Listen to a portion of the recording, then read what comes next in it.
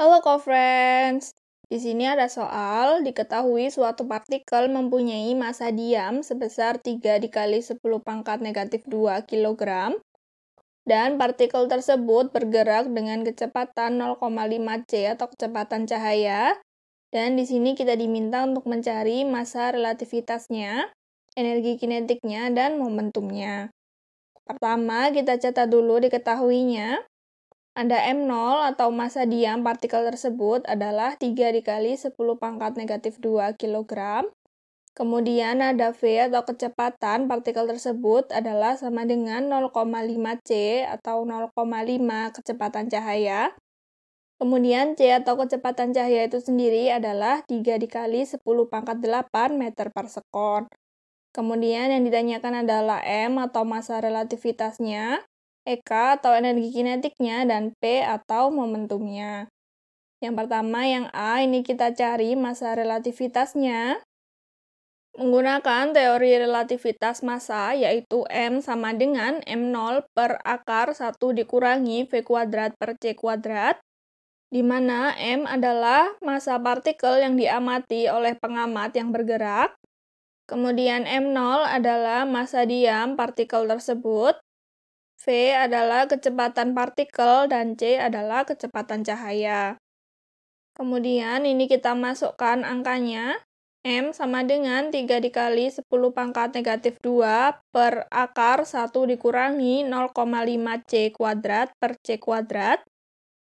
Kemudian ini C kuadrat sama-sama kita coret, sehingga M sama dengan 3 dikali 10 pangkat negatif 2 per akar 1 dikurangi 0,25. Sehingga M sama dengan 3 dikali 10 pangkat negatif 2 per akar 0,75, di mana akar 0,75 adalah sama dengan 0,867 sehingga M sama dengan 3 dikali 10 pangkat negatif 2 per 0,867, yaitu sama dengan 3,5 dikali 10 pangkat negatif 2 kg.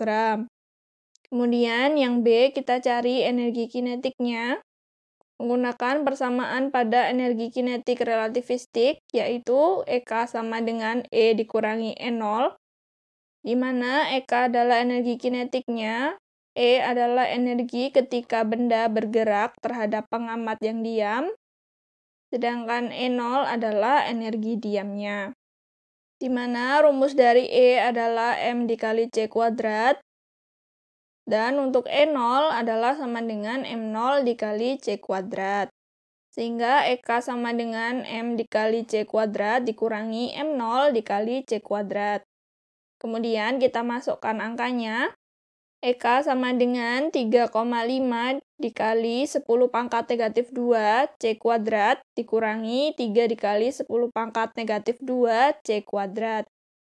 Sehingga Eka sama dengan 0,5 dikali 10 pangkat negatif 2 C kuadrat. Kemudian nilai C-nya kita masukkan.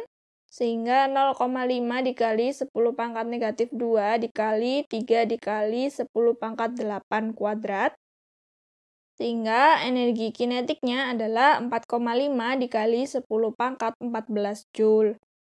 Kemudian ini kita cari momentumnya menggunakan rumus P sama dengan M dikali V atau momentum sama dengan massa partikel menurut pengamat yang bergerak dikali kecepatannya sehingga P sama dengan 3,5 dikali 10 pangkat negatif 2 dikali 0,5 C di mana C-nya adalah 3 dikali 10 pangkat 8, sehingga kita dapatkan P atau momentumnya sama dengan 5,25 dikali 10 pangkat 6 kg meter per sekon.